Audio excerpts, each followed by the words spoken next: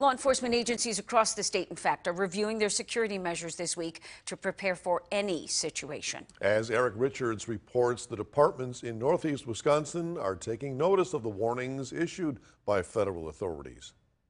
Just over a week ago, we all watched as our nation's capital was overrun by people who, in large part, contest the results of the election. The building was breached, and over a hundred people are currently facing federal charges. When high-profile situations occur, local departments take notes. A lot of us have been revisiting uh, what our plans, our security plans are for, for local governments. Um, it's something we've been doing uh, in Appleton. We live in an era where we can no longer say this won't happen here. Departments are always on alert.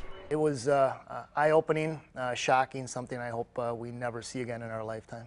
Green Bay police also have a strategy in place in case riots and violence happen here.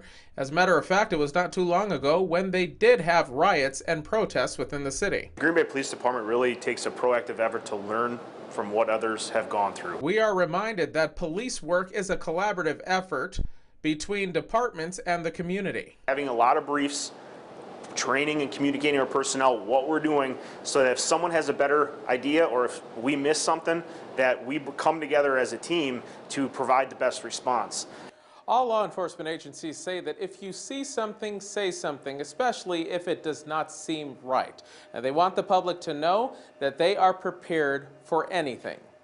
In the Fox Cities Bureau, Eric Richards, Local 5 News. Thanks, Eric. And monthly meetings take place among law enforcement agencies that address current events and shareable information in order to respond to emergency tactical situations. Well,